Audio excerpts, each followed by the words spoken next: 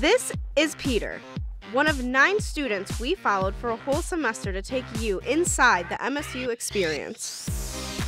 This is his first year of college. Peter's doing game design and playing piano, and he even made an apocalypse suit of armor.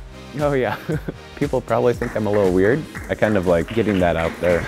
Meet Peter and the other cast members as we turn college inside out.